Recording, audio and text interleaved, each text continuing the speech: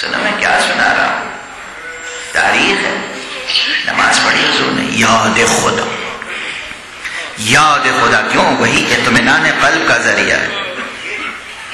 حمزہ جیسے چچا کا لاشا پڑا ہوا ہے۔ کس مظلومیت کے ساتھ حضرت حمزہ کو شہید کیا اسد اللہ و اسد الرسول اللہ حمزہ شیر رسول خدا حمزہ، شفیق چچا حمزہ، ستون اسلام حمزہ۔ کس دردناک طریقے سے ان کے لاشے کو کاٹا گیا تھا۔ شکم مبارک چاک کر کے جگر چبایا تھا۔ کس نے چبایا تھا؟ سب کو معلوم ہے۔ یہ دردناک مسائب ہیں، مگر حضور نماز پڑھ رہے ہیں۔ لیکن ایک بس منظر سے منظر یاد آتا ہے۔ ایک یہ عہد کا منظر ہے۔ چند چیزیں میں نے ذکر کی۔ حضور زخمی ہے چہرے پہ لہو ہے۔ حضور کے سر مبارک کا لہو حضور کے چہرے پر ہے۔ حضرت علی ڈھال میں پانی لے کر آئے بیٹی نے چلو چلو پانی سے چہرہ دھویا ہے۔ حضور نے نماز پڑھی ہے بیٹھ کر۔ وضو کر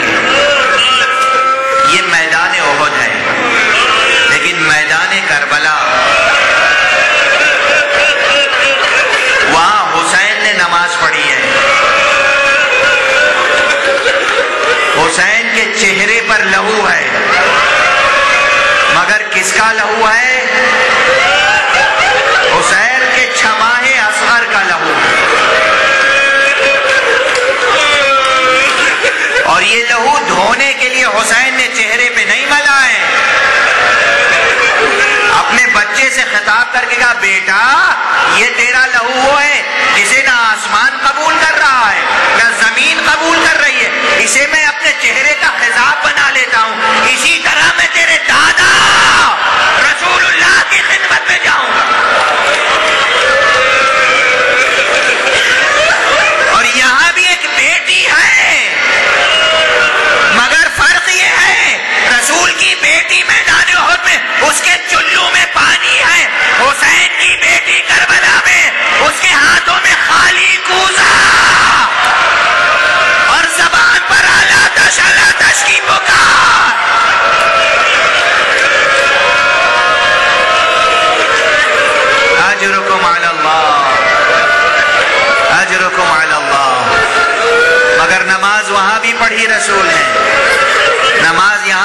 حسین نے نماز یاد خدا ہے۔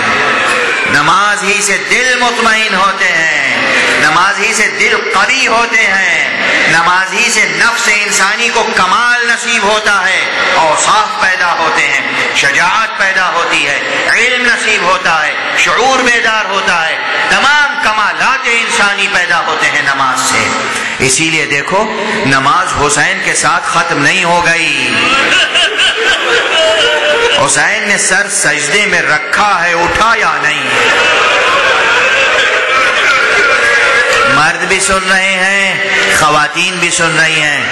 اس لیے بس اب اسی یاد خدا، عظیم ترین یاد خدا کیا ہے؟ نماز۔ قرآن مجید میں ہے آقے میں صلاح ذکری میری یاد قائم رکھنے کے لیے نماز قائم کرو۔ کیسے کیسے نماز قائم ہوئی ہے؟ سید سجاد کی نماز۔ ہاتھوں میں ہتھکڑیاں، پاؤں میں بیڑیاں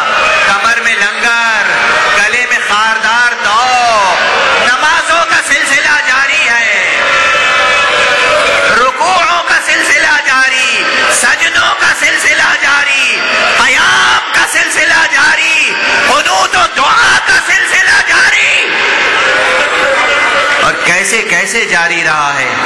بس۔ اتنی نمازیں پڑھی ہیں سید سجاد نے اس حالت میں بھی کہ زخم اتنے گہرے ہو گئے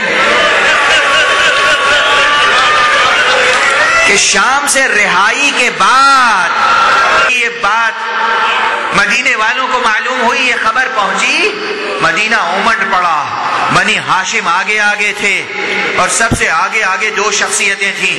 ایک شفیق چچا، محمد حنفیہ، ایک ایک جناب عبداللہ ابن جعفر تیار دونوں بزرگ آئے، امام احترام میں کھڑے ہو گئے۔ چچا نے باہیں پھیلا دی چاہتے تھے گلے سے لگائیں، سینے سے لگائیں، معانقہ کریں۔ ایک مرتبہ نہیں امام نے کہا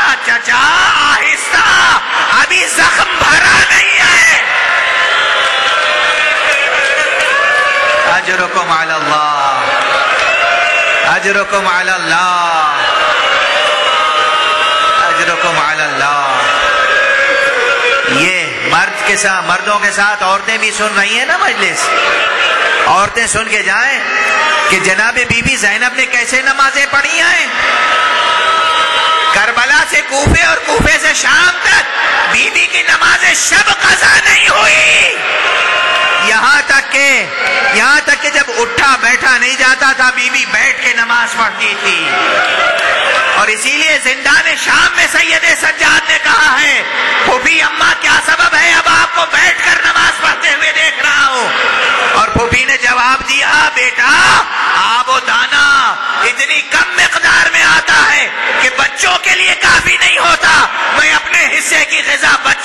تقسیم کر دیتی ہوں۔ اپنے حصے کا پانی بچوں کو پلا دیتی ہوں۔ خود بھوکی رہ جاتی ہوں۔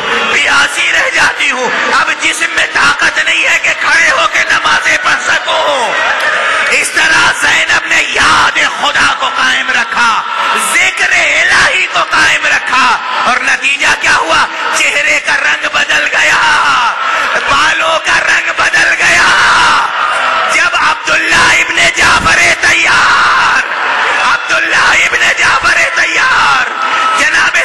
سجاد سے مل چکے ہیں۔ تو جناب سید سجاد نے کہا، اس خیمے میں پھوپھی اما ہے۔ اب پھوپھی اما سے